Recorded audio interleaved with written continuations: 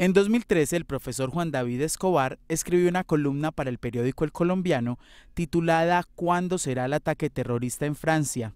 Hacía alusión a las amenazas proferidas en ese entonces por Al Qaeda, que señalaba al país europeo de ir contra el Islam y de haber invadido Mali. Todas las manifestaciones de las caricaturas, sus intervenciones en Mali, daban para pensar que los grupos extremistas islámicos iban a tener una, cobrar una venganza con Francia. Entonces el problema no era si iba a haber una venganza a Francia, sino cuándo iba a haber. En esa columna el profesor señalaba que Occidente no podía desestimar el poder bélico de los fundamentalistas extremistas.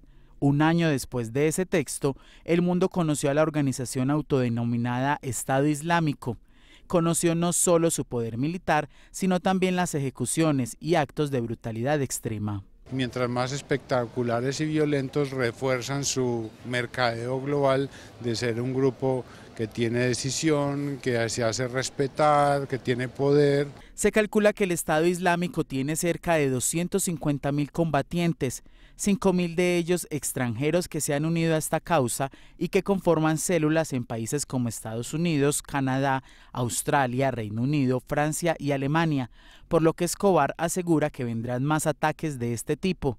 El problema será saber cuándo y dónde.